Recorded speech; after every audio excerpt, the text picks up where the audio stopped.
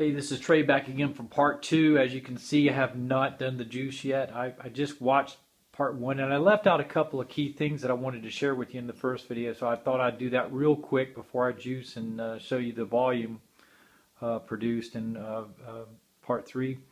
But uh, here's here's something neat as far as the pulp collection bin. Now, if you have a Green Star juicer or a juicer that does not have a reservoir for the pulp, uh, what you can do, and I learned this from John Coke Kohler at OK Raw. Um, you can take one of these salad green tubs, the larger size ones that you usually get salad greens in at the grocery store, and this makes a really nice pulp catcher. And because what you can do if you don't fill it up, you can you can you can put this lid back on, seal it up. No bugs are going to be able to get in there, and then that way you can just dump it out when you get a chance. Rinse it out, let it air dry in the uh, in the dish drain, and you're good to go for next time. And when it gets to when it gets uh, if it gets a crack in there or anything like that, you can just toss it. Real lightweight, easy to carry, and it and it holds a lot of uh, space. So that was I thought was a really good idea. So I wanted to share that with you. Uh, and another thing I wanted to share about the uh, about the uh, darn what was it the oh well, I'll have to. Oh, the peppers. The peppers not only do the cardiovascular effect, but they have a uh, an effect of uh, a healthy effect on the GI tract. In other words, they uh, will cause something inside the body called apoptosis, which uh, means that basically the hot peppers will trigger unhealthy cells within your GI tract to go ahead and extinguish themselves so newer, stronger cells can be back. So it's a, it's a healing accelerator to your GI tract. Not only that, it, it, it, the a lot of the, the bad parasites and the bacteria, they do not like hot peppers, whether it's you know habanero, cayenne, they do not like it, and that will help expedite them out of your body, and it won't affect the uh, the good bacteria you want to hold on to. So they're sort of like an antibacterial and antiviral. Same thing with the ginger.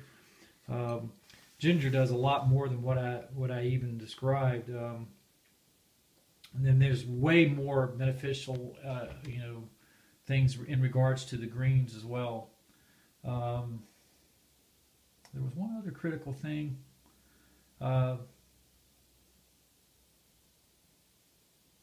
the lemons also. Uh, lemons are, are, are one of the only uh, plant substances discovered so far from what I've learned that are anionic versus cationic. So that makes the lemons very unique. Uh, and uh, that's probably one reason why they are so efficient inside the body. The liver is the, the, the our organ, the liver, is also uh, anionic. So uh, the liver uh, likes these lemons. So lemons in, a, in an indirect way are sort of good for your liver, especially if you drink the lemon juice straight within 30 minutes after squeezing it. Oh, and the lemons, like for example, you know, I can tell from all this produce here that I'm not going to be able to drink this at one sitting.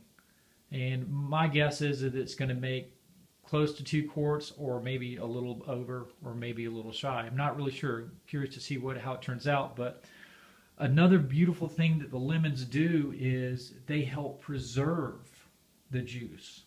Well, the Green Star itself is the is is is the best juicer as far as longevity of the juice. Once you're done, you can usually hold juice up to 72 hours, whereas other ones, especially a extractor you're sort of encouraged to drink the juice right away, which I still drink this as fast as possible as well. But but when you make enough for the next morning or whatever, uh, it's good to have the lemons that affect the because uh, that will help preserve the greens or in everything in the juice, you know, and, and may help maintain its integrity.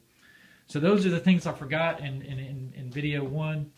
I'm sorry that took so long, but um, I'm just doing this stuff to help you know we help y'all learn and to reinforce my learning because I can just refer back to it. But um, I thought those were some good hints. But I'll I'll go ahead and stop now, and I'm gonna go I'm gonna go ahead and get this juice started, and then I'll uh, have part three where we'll look at the volume. And um, again, I hope i am encouraging y'all to uh, to uh, start start some juicing here and make some healthier uh, decisions as far as your you know your food and your health. Um, until part three, I'll see you then. 拜拜。